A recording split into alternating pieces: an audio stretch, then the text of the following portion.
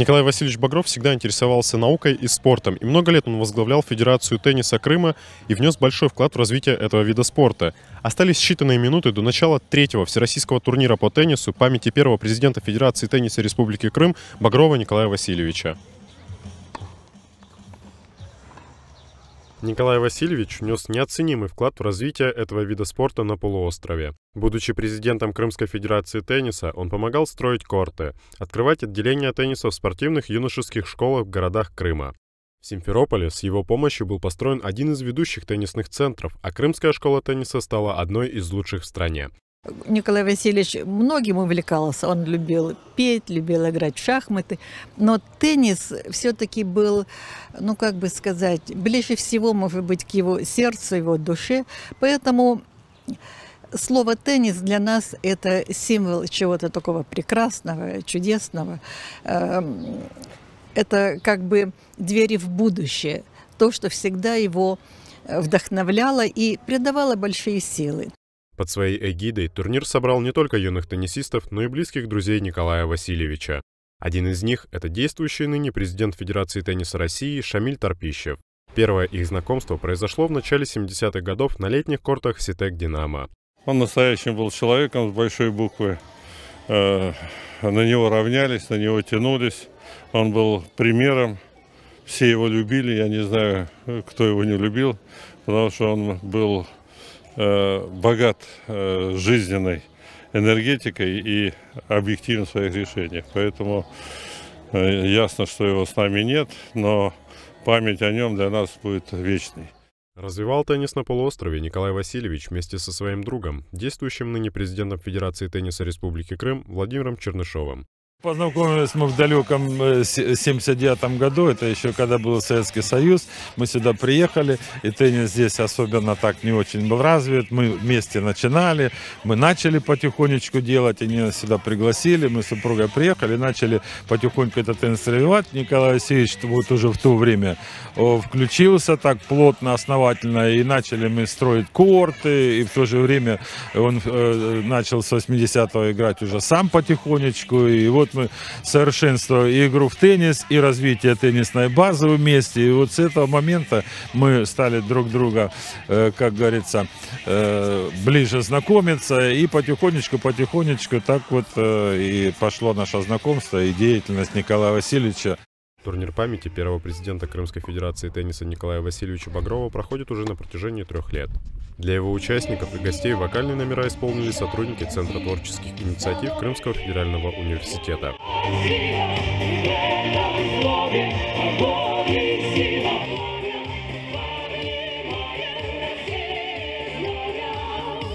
Кроме этого, юным теннисистам вручили памятные подарки. Турнир продлится до 2 июня. Антон Бизик, Евгений Ильющенко, пресс-служба Крымского федерального университета.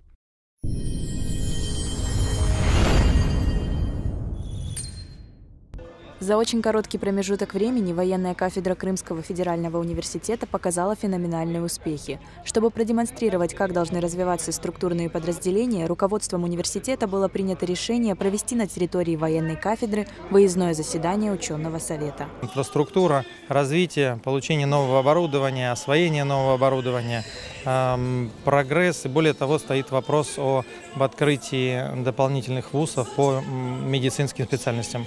Поэтому эти задачи э, считаю важно, что весь ученый совет посмотрел заодно, опять же, на прогресс, что это не простое вливание денег университета, а мы видим реальные успехи.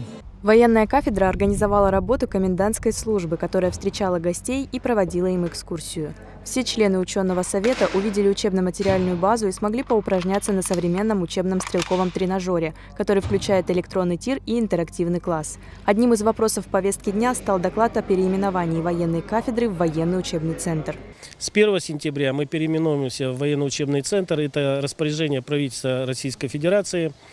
Э, оно предусматривает переименование всех существующих в Российской Федерации военных кафедр, военных институтов, э, факультетов военного обучения в единое наименование – военный учебный центр. В повестке дня стояли следующие вопросы. Результаты оценки состояния сельскохозяйственной деятельности КФУ имени Вернадского, объединение кафедр медицинской академии, реорганизация кафедр физико-технического института, оказание материальной поддержки обучающимся университета. Мы, как, э, как обычно, член ученого совета будем принимать активное участие.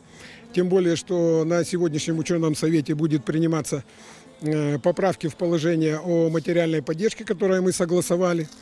Вот. Поэтому я думаю, что на ученом совете по студентам все будет хорошо. В рамках ученого совета состоялось торжественное вручение наград и присвоение ученых званий. Решением Совета Крымского республиканского союза ветеранов памятной медалью 75 лет освобождения Крыма от фашистских захватчиков были награждены Андрей Фалалеев, Евгений Крутиков и Евгения Молочка. Кроме того, грамотой за первое место на заключительном этапе Международной студенческой олимпиады по теплогазоснабжению и вентиляции наградили студента Академии строительства и архитектуры Данила. Петренко. Алена Арцебашева, Евгений Ильющенко, Михаил Погоми, пресс-служба Крымского федерального университета.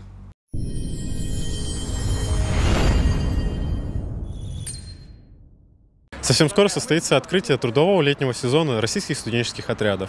И в этом году ребят ждут Якутия, Москва, Краснодарский край и Крым. Бойцы крымского отделения РСО летом будут трудиться вместе с самым многонациональным студенческим отрядом страны «Меридиан Дружбы». Да, это, я считаю, колоссальная идет работа со стороны Крымского федерального университета, со стороны Российского университета дружбы народов. Мы в этом году в четвертый раз принимаем студенческий строительный отряд «Крымстрой», который а, на протяжении вот уже трех лет да, работает на объектах а, РУДН и отлично справляется со своей работой.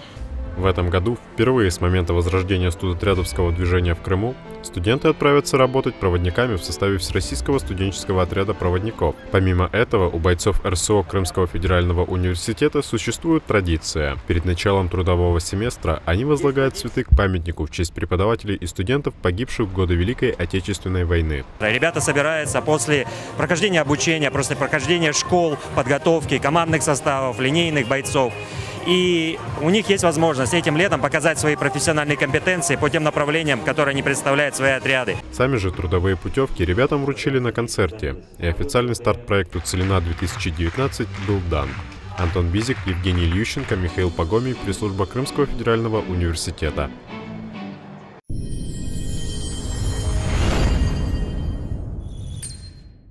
Полуостров Крым всегда славился своими здравницами, санаториями и пансионатами. В Крымском федеральном университете обсудили актуальные вопросы адаптивной физической культуры, санаторно-курортную реабилитацию, инновационные технологии и приоритеты развития. Крым должен стать круглогодичным курортом. Но для этого надо достаточно много что сделать. Во-первых, инфраструктура, современные санаторно-курортные комплексы. Но если человек приезжает зимой, то он должен, конечно, иметь возможность плавать в бассейне с морской водой. Он должен получать возможности посещения достопримечательностей Крыма. Это все логистика, которая должна быть, в общем-то, предусмотрена для того, чтобы действительно Крым был привлекательный. По словам Юрия Александровича, первостепенной задачей сейчас является изменение подхода к оказанию рекреационных услуг для отдыхающих на полуострове. Конференция проходит в Крымском федеральном университете в третий раз и имеет статус всероссийской. Наш университет э, находится на берегу Балтийского моря. Курортология, реабилитация развиты в нашем регионе достаточно хорошо. Поэтому проблемы адаптивной физкультуры, реабилитации, здесь действительно море сотрудничества. И мы видим в то, что вот сегодняшняя конференция поможет найти нам общие точки соприкосновения и найти область сотрудничества в этом направлении. Конференция закончится 30 мая в санатории «Черные воды», и по ее результатам будет выпущен сборник статей. Антон Бизик, Николай Шульга, пресс-служба Крымского федерального университета.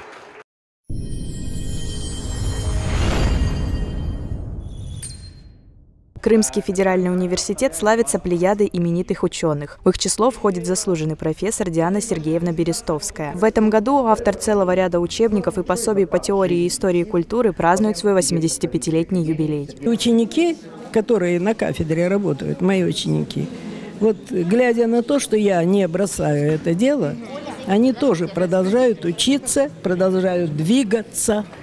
И надо самому не складывать рук каково бы ни было твое состояние. Диана Сергеевна воспитала несколько поколений педагогических и научно-педагогических кадров, специалистов в области отечественной и зарубежной культуры, поддерживает на Крымском полуострове высокий уровень знания истории русской культуры в высшей школе. Ее ученики достойно представляют Крымскую культурологическую школу во многих высших учебных заведениях Республики Крым. Мы сегодня собрались с учениками Дианы Сергеевны, с ее коллегами, с ее близкими людьми и вспомнили прекрасные слова о том, что красота спасет мир. Мы действительно, Диана Сергеевна посвятила свою жизнь изучению прекрасного, изучению культуры, которая на самом деле, конечно, является важнейшим для человека, потому что именно она делает человека человеком. Поздравить Диану Сергеевну пришли ее друзья, ученики, студенты, коллеги, руководство Таврической академии, гости из других крымских университетов и, конечно же, ее семья. Я выросла у нее на всех ее работах, на кафедре, которой она долгое время руководила. И все мы большая семья.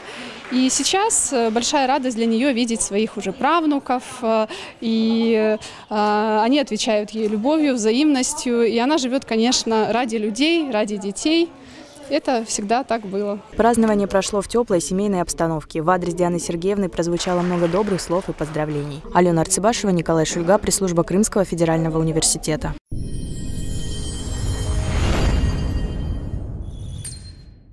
Уникальным полуостров Крым делает не только богатая природа, но и множество памятников культуры, расположенных на его территории. Тема сохранения наследия становится более востребованной. Этот вопрос и другие механизмы популяризации культурного наследия обсудили ученые и гости на научно-практической конференции «Актуальные вопросы охраны и использования культурного наследия Крыма», прошедшей в городе Евпатория.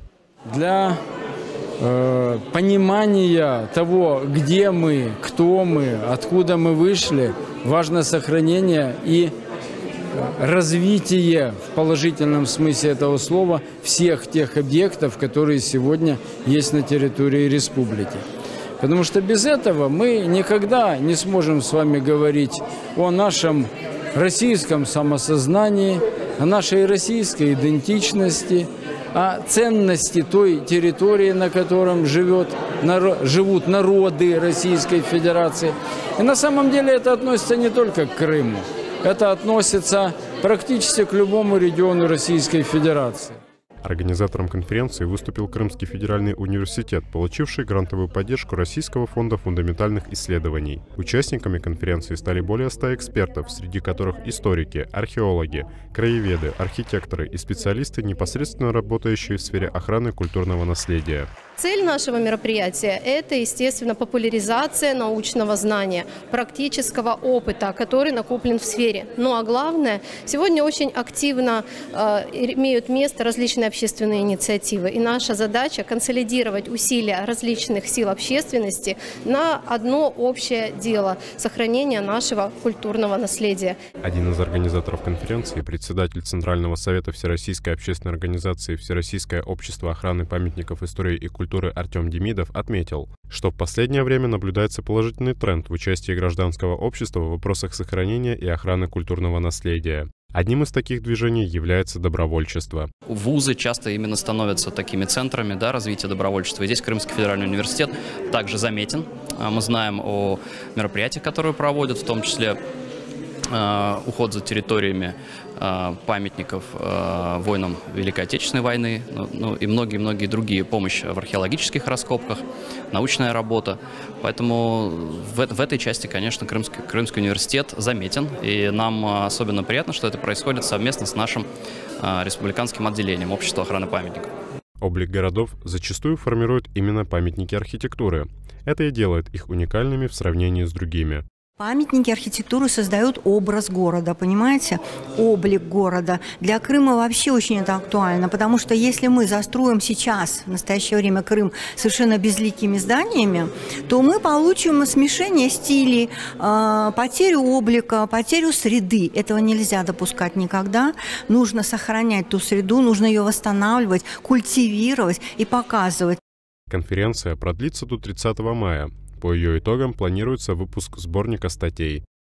Антон Бизик, Евгений Ильющенко, пресс-служба Крымского федерального университета. Thank you